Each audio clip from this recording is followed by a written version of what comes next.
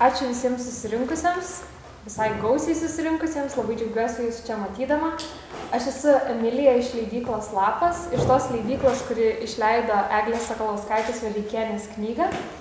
E, pamišimas ir epilepsija paumėje šviečiant mėnesienai, nervų lygos Vilniuje XIX amžiaus pirmoje pusėje. E, tai kadangi aš turiu šitą progą pakalbėti viešai ir pradėti šį renginį, Visų pirma, norėčiau padėkoti Vrublevskių bibliotekai ir visam kolektyvui, kad taip šiltai mus priemė ir suorganizavo šitą renginį. Labai malonu, labai jums ačiū.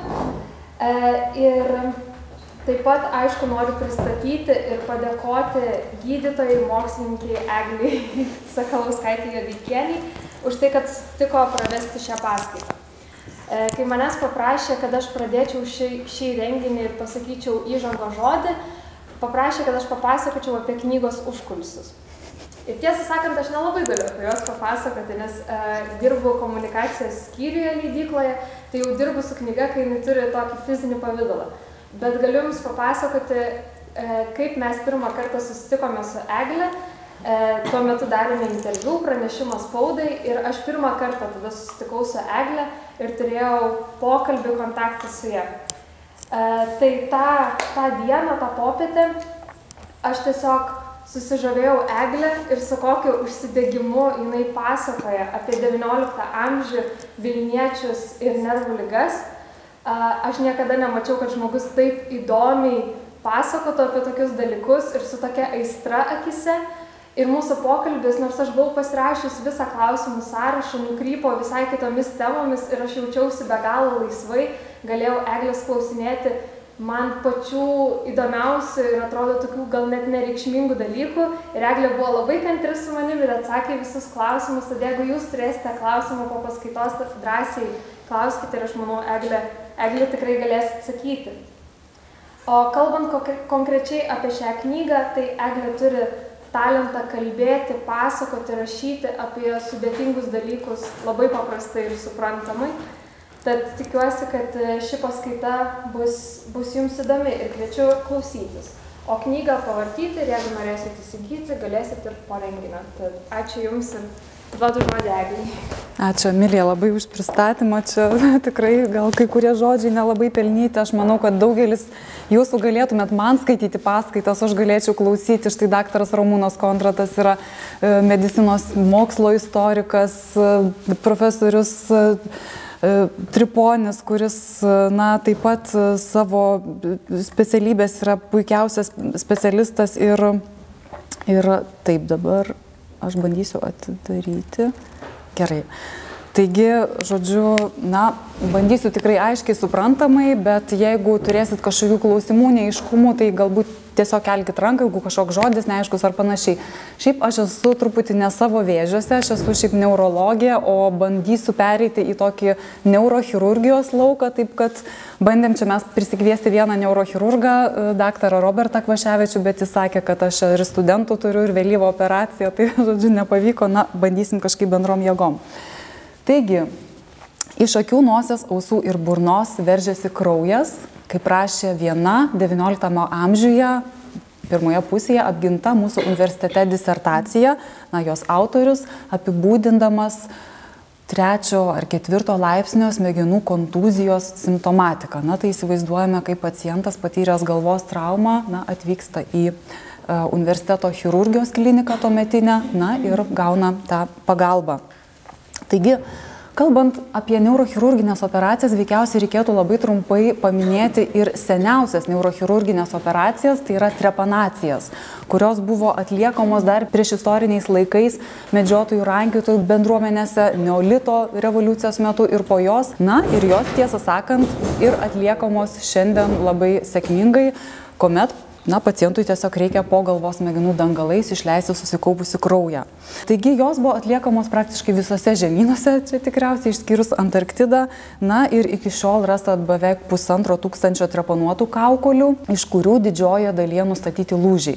Na, vadinasi, kaukolės trepanuodavo greičiausiai didžiaja dalimi gydimo tikslais - galvos trauma, kaukolės lūžis ar ne, kaupėsi kraujas, plyšusi kraujagislė, na, pacientas guli komoje, reikia jį gydyti. Tačiau trepanacinė anga iš tikrųjų turi tokią problemą, kad iš tikrųjų, na, greičiausiai ne visos tos trepanacinės angos buvo atliekamos gydimo tikslais, dalis jų primityviosiose tose bendruomenėse buvo atliekamos, na, tarkim, ir kaip pomirtinis ritualas, kuomet pacientas, na, ligonis mirdavo ar ne, ir jo anūkai, jo vaikai tiesiog jiems išgrėždavo kaukolėje mirusio, reiškia jo giminaičio e, kaulo skritinuką ir jie naudodavo prisirišę kaip amuletą vietą apsauganti nuo piktųjų dvasių.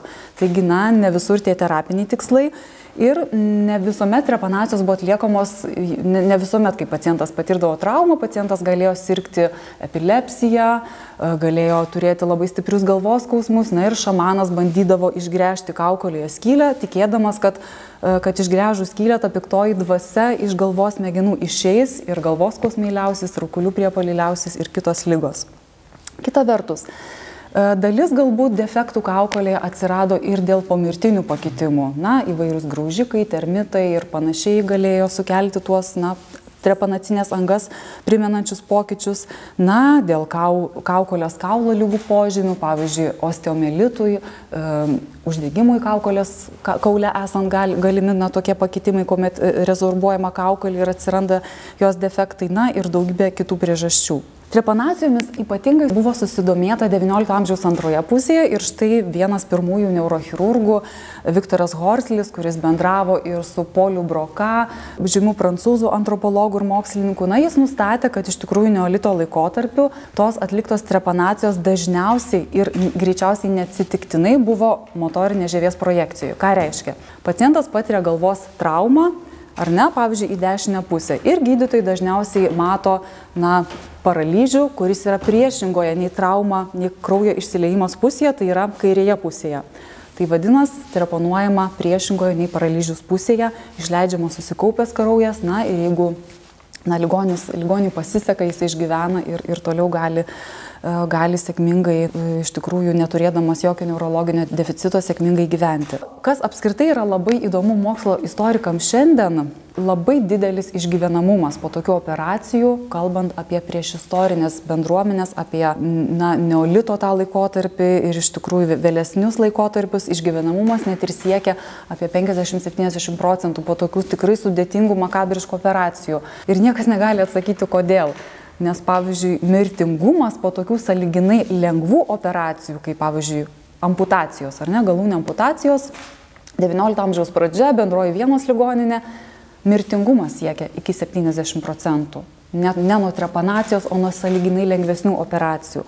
Taigi, na, kodėl tuo metu nei antibiotikų nebuvo, nei anestezijos, nei uh, na, nei, nei kitų, tarkim, medicininių kažkokių tai išradimų, tačiau kažkodėl senovės inkų civilizacijos, civilizacijose kaukolės regeneracija po trepanacijos įvyko ir tą antropologai tikrai gali matyti. Na, jeigu pacientas mirdavo, mes nematysim regeneracijos požymių kaukolėje, jeigu pacientas išgyvendavo bent keletą mėnesių po operacijos, tai mes tą regeneraciją matysim, kaulėjimo požymius. Taigi, perjom prie temos, kas vis dėlto stabdė neurochirurgijos vystimasi XIX amžiaus na, pirmoje pusėje ar vėlesnėse epochose. Pirmiausia, neurochirurgai, na, chirurgai, jie tuo metu nesivadino neurochirurgais, nes neurochirurgija kaip specialybė užgimė 20 amžiaus pirmoje pusėje, jie nemokėjo tinkamai vertinti neurologinės simptomatikos. Ką mes kalbėjom, ar ne? Pacientas paralyžiuotas vienoje pusėje, reikia gręžti kaukolę priešingoje nei paralyžius pusėje. Tai, na, šiandien mums kaip ir akivaizdu tai.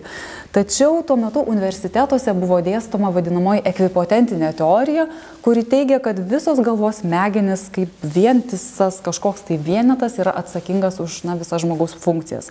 Mes žinome dabar, kad už mūsų judesius, už mūsų jutimus, už regą, už klausą, už atmintį, na, vis atsakingos vis kitos galvos mėginų žievės dalis, tačiau tuo metu to niekas nežinojo. Na ir tai stabdė neurochirurgijos vystimasi. Chirurgai nenorėjo atlikinėti galvos operacijų dėl to, kad jie pastebėjo, kad labai dažnai pacientai neišgyvena. Didelė komplikacijų rizika. Kokių?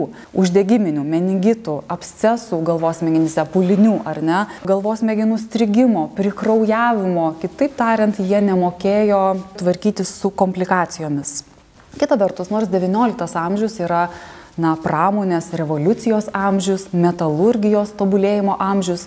Ir jeigu pilvo chirurgai, na, turi jau plieninius instrumentus, gali operuoti, tačiau nėra sukurta dar iki tol atraumatinės operavimo technikos, o smegenys yra toks organas, na, kurį, pavyzdžiui, jeigu mes turime sirptuką, mes kaip želė galime išsirpti visas smegenis net ir vienu sirptuku, neturėdami jokių skalpelių ir panašiai.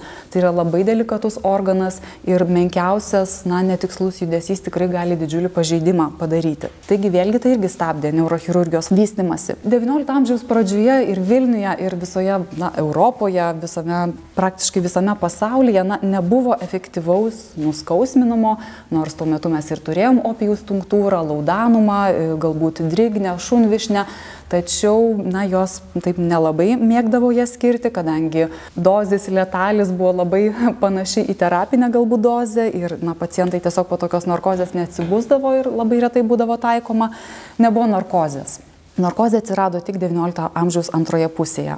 Na taigi įsivaizduojame, kaip sunku pacientui atlikti subtilę neurochirurginę operaciją, kuomet pacientas blaškosi iš skausmo, kuomet jis na, juda, krūta, e, kuomet jį reikia laikyti ir panašiai. Nebuvo aseptikos ir antiseptikos, nors tuo metu Ignacas Zemelvaisas bendroje vienos ligoninėje bandė priversti savo kolegas plautis rankas chloruotų vandeniu prieš operacijas, prieš priimant gimdymus, tačiau, na, jo visi laikė jį pamišeliu ir niekas, na, iš tikrųjų rimtai netikėjo, kad tai yra kažkoks tai ypatingas ar geras metodas mažinant infekcijų riziką.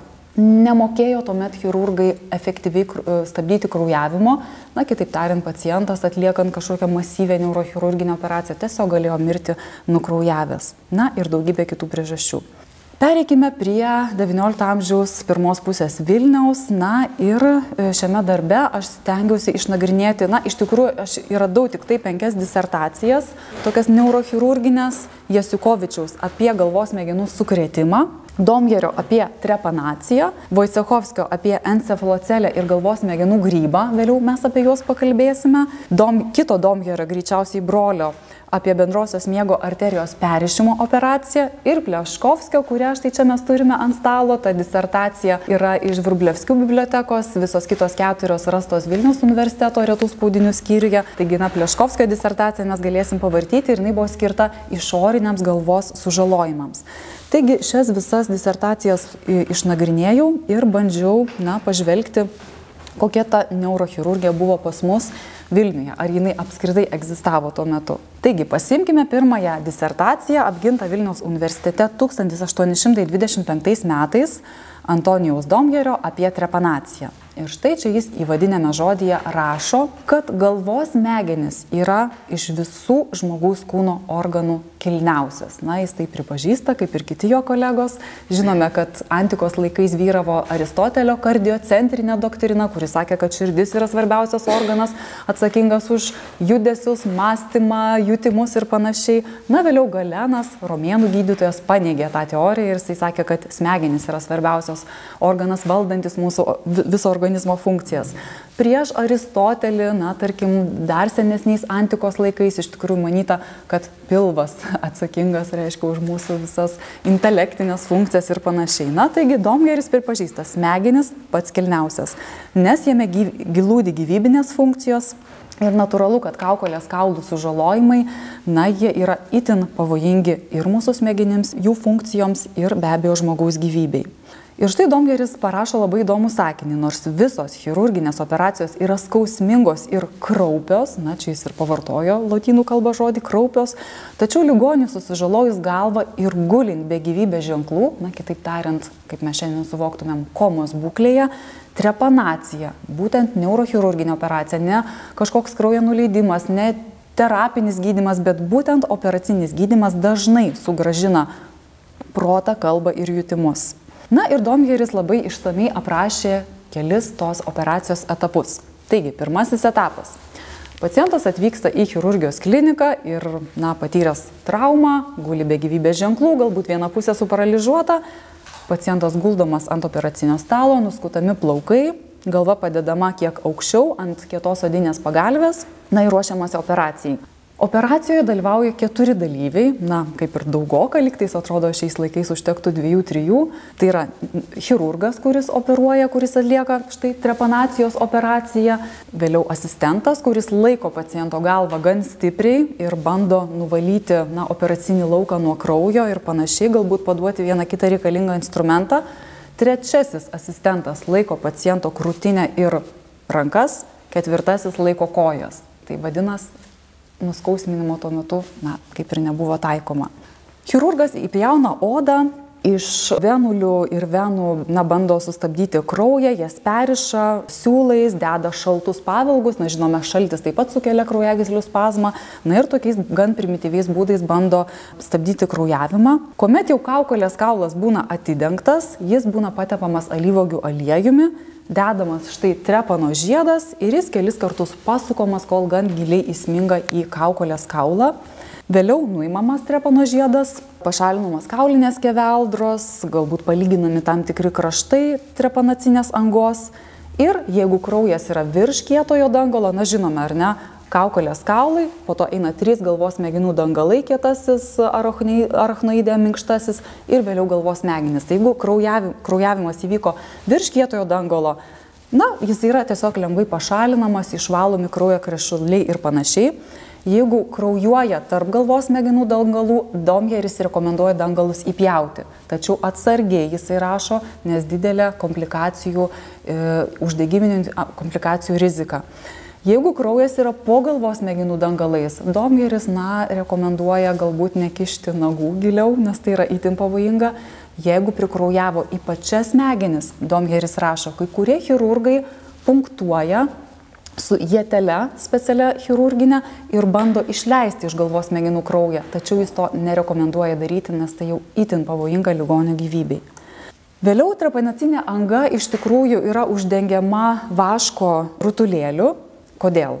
Na, galbūt jeigu ten ir toliau kraujuos, tas rutuliukas galės būti pašalinamas ir išleidžiamas, vėl prisikaupęs kraujas. Suspaudžiamas tas rutuliukas suplėšyta drobe, tvarščiu, galva aprišama juosta, na ir pacientas paguldomas ramiai gulėti, jam skiriamas lengvas maistas, uždegimas lopinantis gėrimai, vėdinamas patalpų oras.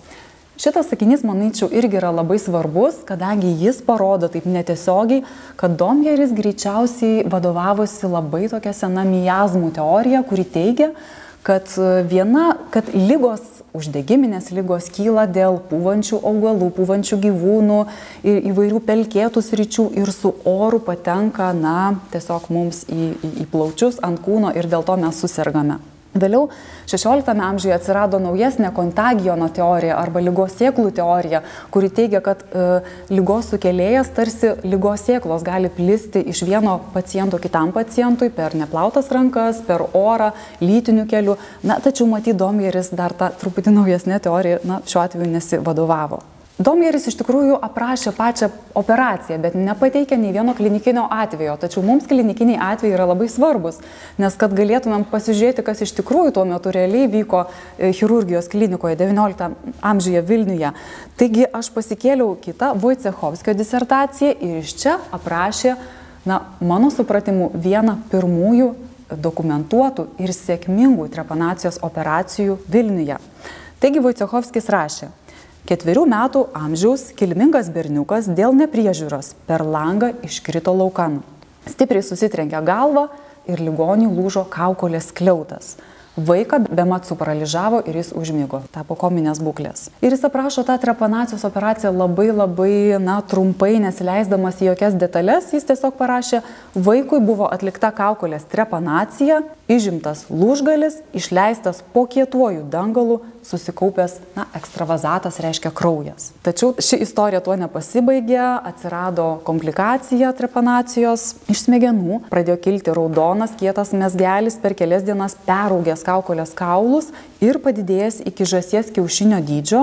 Iš pradžių, sako, mes bandėme tą tumoriuką pašalinti peiliu, tačiau prasidėjo kraujavimas ir nutarėme uždėti ligatūrą, na, žodžiu, užveršti tą darinį su nu, chirurginiu siūlu ir per dešimties dienų štai, na, tas darinukas nukrito, vėliau jie uždėjo metalinę plokštelę trepanacinės angos vietoje, tepo įvairiais balzavimais ir veikiausiai įvyko stebuklas, nes berniukas pasveiko ir čia latiniškai jie ir parašė, puer pristydam pristinam valetudiniam rekuperavit. Taigi, na, manyčiau, kad tai galėtų būti pirmas dokumentuotas chirurgijos klinikos, na, trepanacijos atvejis ir atliktas iš tikrųjų labai labai mažam žmogui, keturių metų amžiaus berniukui. Gerai, toliau pereikim prie galvos smegenų sukrėtimo. Na, visi įsivaizduojame, kas tai yra na, per lyga, smegenų sukrėtimas. Tačiau tos lygos suvokimas truputį skiriasi XIX amžiuje, na, lyginant su mūsų suvokimu. Ir Jasiukovičius savo disertacijoje labai gražiai išdėstė tuos sukrėtimo laipsnius. Pirmo laipsnio sukrėtimą, na, galvos smegenų traumą patyręs ligonis dažniausiai jaučia užimą ausise, jam sveiksta galva, jaučia mėguistumą, na, gali būti net ir paralyžius nustatomas arba konvulsijos arba traukulių priepoliai. Tačiau, pasak autoriaus, dažniausiai, kadangi sukrėtimas lengvas, kinetinė energija maža, žala galbūt kaukuliai ir galvos smegenims maža, dažniausiai šie simptomai praeina savaime. Sunkesnį sukrėtimą antro laipsnio patyręs ligonis dažniausiai guli nesuvokianti savęs. Inkoncijus jacens, čia panaudotas tas terminas, mes šiandien sakytumėm nesąmoningas, tačiau na, šis terminas labiau būdingas 20 amžiui negu 19. Sustingęs, mėguistas, lietai atsako į klausimus. Na ir ligonis gali pasveikti, tačiau ateityje jam yra rizika susirgti encefalitu, galvos smegenų uždegimu, pasak autoriaus. Trečiasis laipsnis, na štai čia ir yra va tas sunkesnis laipsnis, kuomet iš akių, nosies, ausų ir burnos gali verštis kraujas dėl stambiųjų kraujagyslių plyšimo ir panašiai. Na, tačiau pasak autoriaus tinkamai gydant ligonis dar gali pasveikti.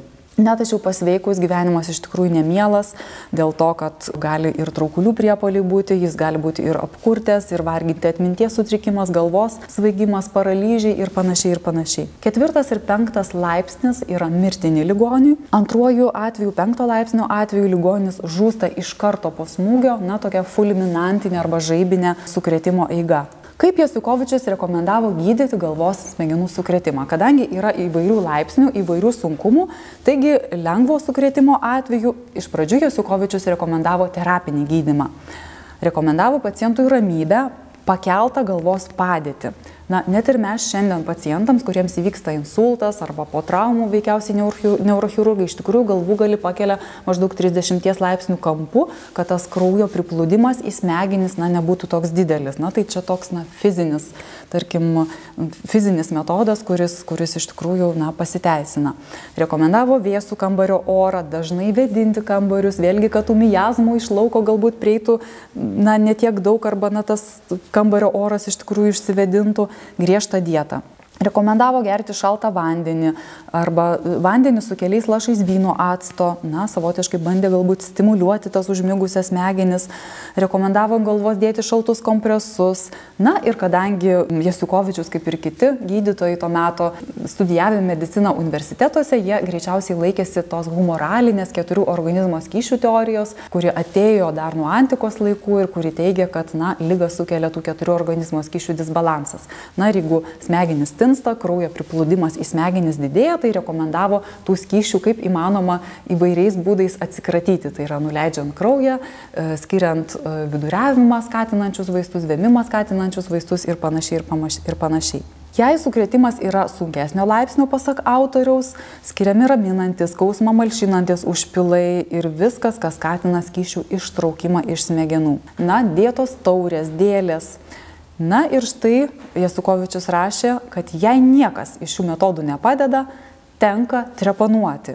Ir, na, kai aš pamačiau šitą sakinį užrašytą lotynų kalbą, aš pagalvojau, kad padariau kažkokį tai atradimą ir man tuoj pat reikia rašyti kokį nors straipsnį, nes jis parašė, reikia trepanuoti toje vietoje, kuri yra priešinga nei paralyžius ekvipotentinės teorijos jisai nepri, na, greičiausiai nepripažino, tačiau ir galvos smegenų lokalizacijos teorija užgims daug vėliau, užgims tik tai XIX amžiaus antroje pusėje, polio broka atradimai ir visa kita, tačiau greičiausiai mūsų klinikų chirurgai jie tą teoriją, tarkim, atrado empiriškai ir taikė praktiškai ir jinai jiems pasiteisino, nepaisant to, kad jie universitetuose nebuvo to mokomi.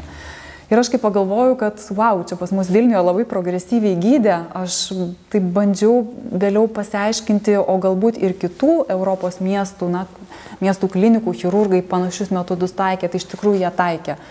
Nors universitete nebuvo dėstoma galvos smegenų lokalizacijos teorija, tačiau jie praktiškai tą atlikinėdavo na, tiesiog empiriniu būdu nusistatė. Pasimkime dar kitą disertaciją kito Domjerio, brolio, apie bendrosios miego arterijos perišimą. Ir štai čia aš tą disertacijos na, esmę norėčiau iliustruoti klinikiniu atveju. Šiuo atveju vyresnis pacientas, 20 metų amžiaus vyras, 1822 metais, kovo 30 dieną atvežtas į mūsų universiteto chirurgijos kliniką dėl stipraus kraujavimo. Iš kur? Iš dešinės ausies.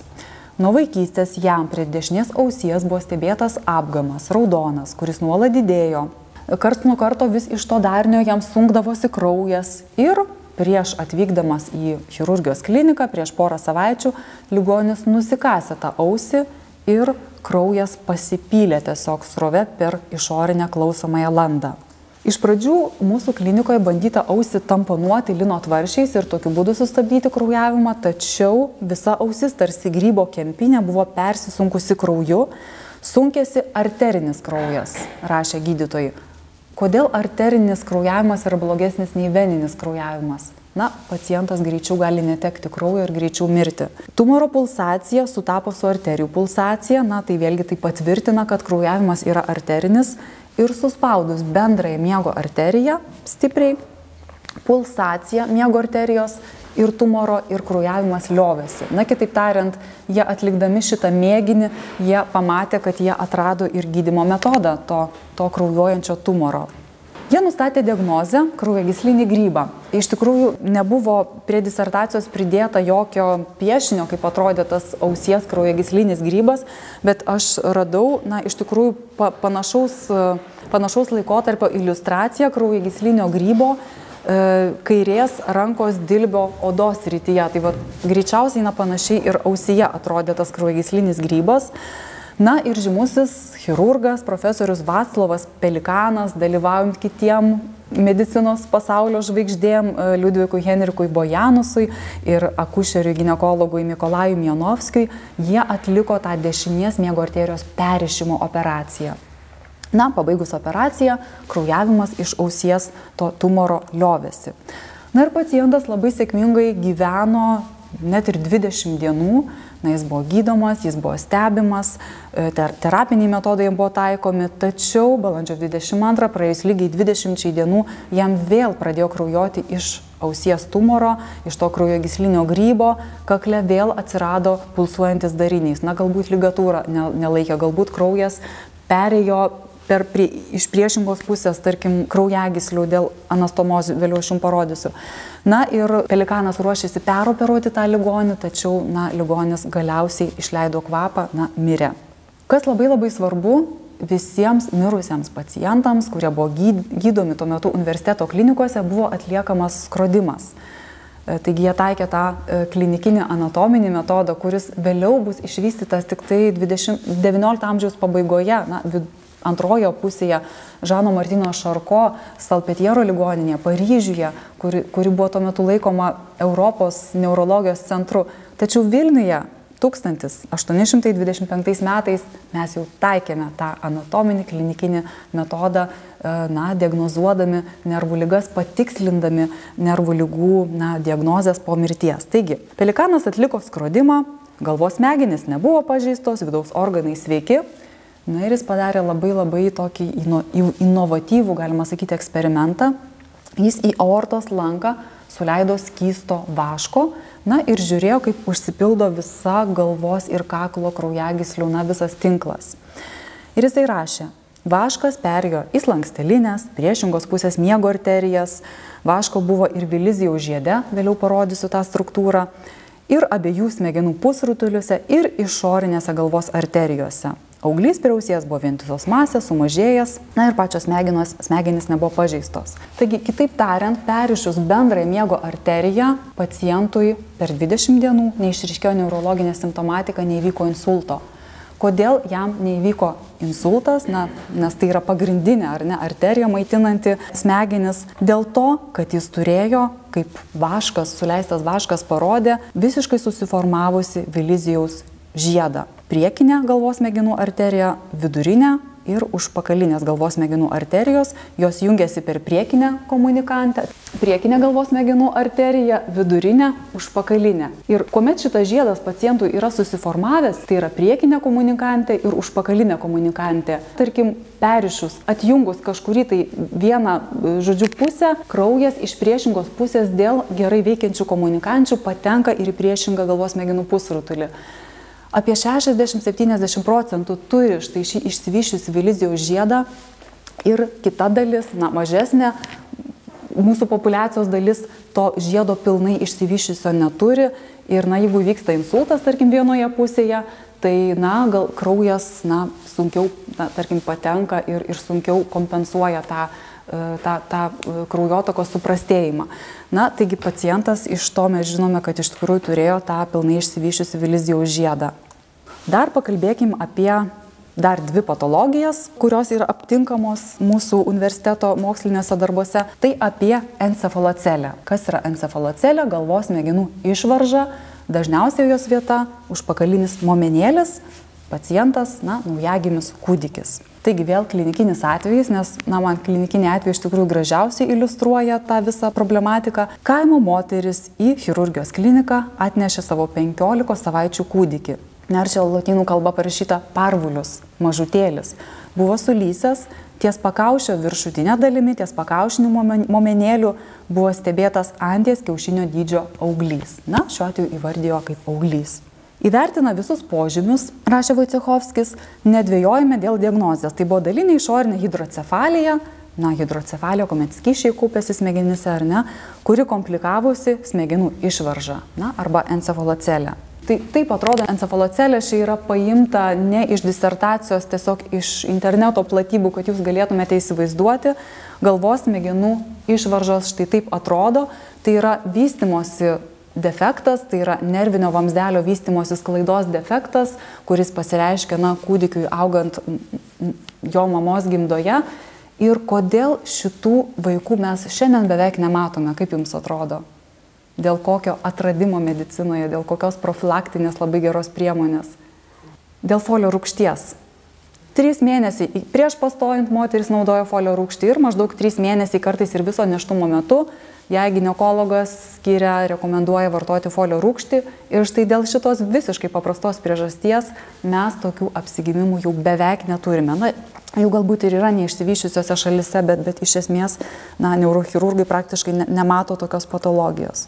Taigi, ligonio gyvybinės funkcijos nuo to 15 savaičių kūdikio buvo stabilios, Todėl, rašė Vaicechovskis, mes punktavome auglį ir iš viso pašalinome 7 uncijas žalsvo skyščio. Žalsvas skystis, ką tai galėtų reikšti? Pulingas, ar ne? Vadinasi, na, ligonio prognozija iš tikrųjų labai labai bloga. Sunkiantis skyšiui kūdikis nualpo, vėliau pasireiškia traukuliai ir rytojaus dieną ligonėlis, na čia latiniškai labai gražiai parašyta buvo egrotulius, numirė. Vojcechovskis iš tikrųjų kritikavo šitą operacinį gydimą, nes jis mane, kad esant beviltiškai klinikiniai situacijai, esant sunkiai ligonio būkliai, nereikia pratesti jo kančių, nereikia taikyti chirurginio gydimo ir galbūt tokiu atveju reikia atiduoti tą ligonį gydomosioms gamtos galioms arba, na kitaip tariant, palikti tą lygą savygai, na, kad jis galėtų ramiai numirti ir jam ne, ne, ne, nereikėtų galbūt papildomai kankintis.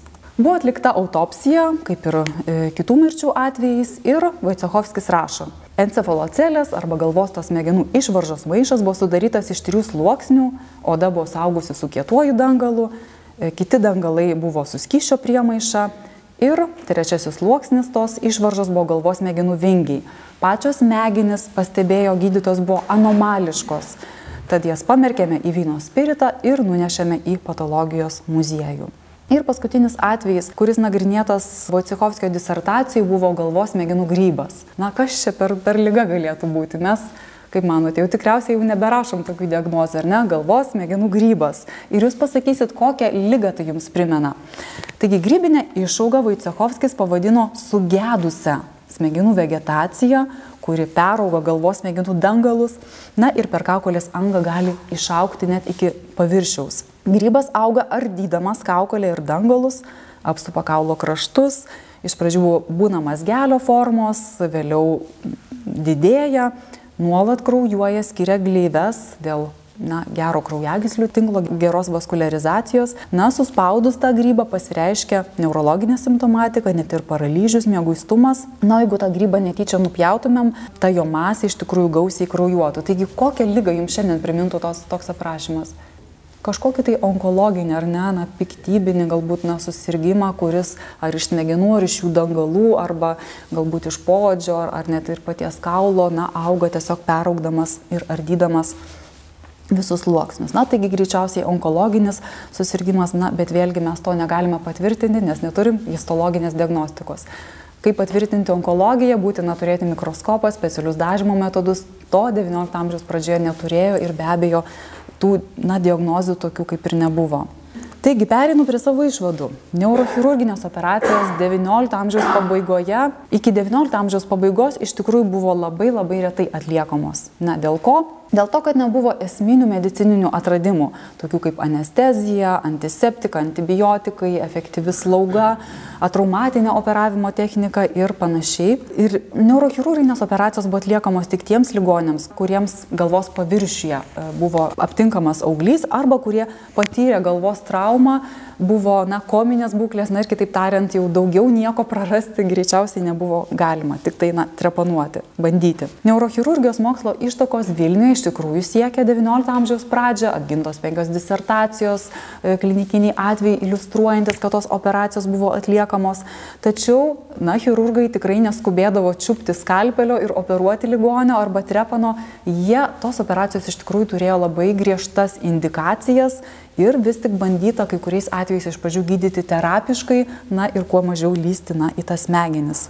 Chirurgijos klinikoje buvo stebėtos ir ligonio gyvybinės funkcijos, na ir be abejo vertinama ir neurologinė simptomatika. Na ir yra duomenų, kad Vilniaus chirurgai, jie iš tikrųjų greičiausiai nesivadovavo tą ekvipotentinę galvos smegenų teoriją, o greičiausiai atrado empiriškai ir naudojo galvos smegenų lokalizacijos teoriją, nors, na, vėlgi pasaulyje apie ją bus kalbama tik tai po gerų 50 metų. Ir pas mus chirurgijos klinikoje buvo atliekami skrodimai ir taikomas tas vėlgi klinikinis anatominis metodas, kuris, kuris na, vėlgi bus ištobulintas irgi tik po gerų 50 metų, o Vilniuje štai mes jau jį turėjome XIX amžiaus pradžioje.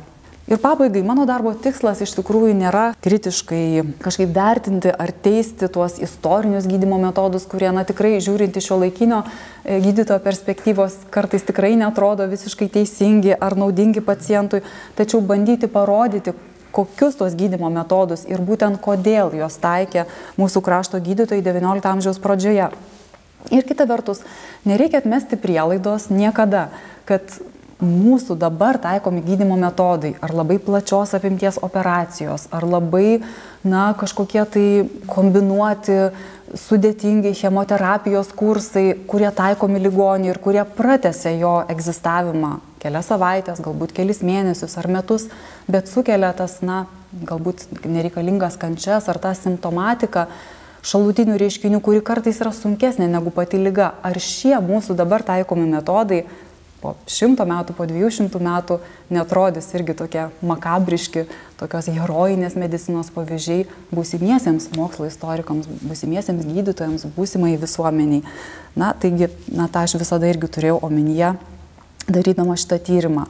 Daktaras Robertas Kvaševičius, neurochirurgas, kuris padėjo man truputėlį susiorientuoti XIX amžiaus neurochirurgijos rytyje, dėkoju jam mano mokslinio darbo vadovas, profesorius Dalius Jatužis, taip pat didelė padėka šiam žmogui. E, mes kartu prieš keletą metų parašėme straipsnį neurochirurgijos ištakos Vilniaus klinikose, jį galite nemokamai atsisiųsti pasiskaityti. Labai nuoširdus dėkui amžinatilsi docentai Daliai Triponiniai, kuri buvo ilgametė Vilniaus medicinos draugijos pirmininkė, e, taip pat e, parašė daugybę mokslo istorijos ir straipsnių ir monografijų ir kuri užvedė mane ant kelio, parodė tai, ką mes turime, kokius mes fondus turime, kokias mes disertacijas turime ir kuri lydėjo mane praktiškai visų doktorantūros metų kelyje. Didelę padėką reiškiu taip pat amžinatelis savo profesoriui, neurologijos profesoriui Valmantui Budriui, kurio medicinos, neurologijos, meno ir istorijos tyrinėjimai Jie publikuoti yra geriausiuose, prestižiškiausiuose Europos